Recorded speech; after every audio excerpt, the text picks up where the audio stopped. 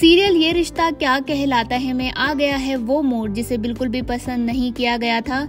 जी हाँ जैसे कि आप जानते होंगे कि अक्षरा का प्रेगनेंसी ट्रैक लोगों को पसंद नहीं आया था। जहाँ कुछ दिन पहले ऐसा दिखाया गया था कि अक्षु शादी से चली गई है, पर वो बात अभिनव से अलग तरह से रिलेटेड थी। अब अभिमन्यु के सामने आ गया है अक्षरा का सच। हुआ कुछ यूँ कि संगीत चल रहा है, अक्षरा और अभिमन्यु का जहाँ दोनों बैठे हैं और घर के सब लोग स्टेज पर डांस कर रहे हैं, तब आती है, अक्षरा की प्रेगनेंसी रिपोर्ट जिसे लेती है आरोही, और आरोही पेपर पर बाहर अक्षरा का नाम पढ़ लेती है, और उसे पता चल जाता है कि अक्षरा माँ बनने वाली है।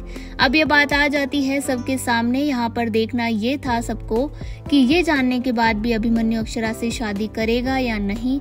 तो देख लीजिए, यहाँ साफ़ साफ़ अभिमन्यु ने कह दिया है कि शादी कैंसिल जिसे सुन सबको लग गया शौक और लगेगा भी क्यों नहीं? पर बात यह है कि अभिनव ने भी अभिमन्यु के बच्चे अभीर को अपनाया था। तो क्या अभिमन्यु नहीं अपना सकता अक्षरा और अभिनव के बच्चे को?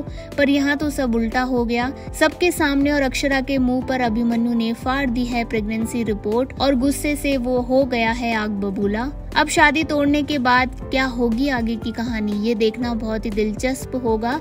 सबकी बात तो दूर, जब अभिमन्यु ने ही मना कर दिया है शादी के लिए तो कोई और तो क्या ही बोलेगा?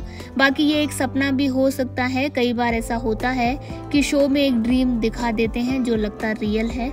बाकी ये तो अब नेक्स्ट एपिसोड में ही पता चलेगा। पर अगर ये सच हुआ तो फैंस का दिल फिर से टूट जाएगा। काफ़ी ट्विस्ट अब मेकर्स ला रहे हैं शो में। पर जो ऑडियंस देखना चाहती है, वो पूरी तरह से नहीं दिखाया जा रहा। अब देखना यही है कि अक्षरा और अभिमन्यु के फैसले से क्या होता है आगे। अभीर की लाइफ कैसे इफ़ेक्ट होती है इस फैसले से? क्या कहना चाहेंगे आप इस बारे में? आपकी क्या राय है? बताएँ हमें कॉमेंट करके। And stay tune for more updates thank you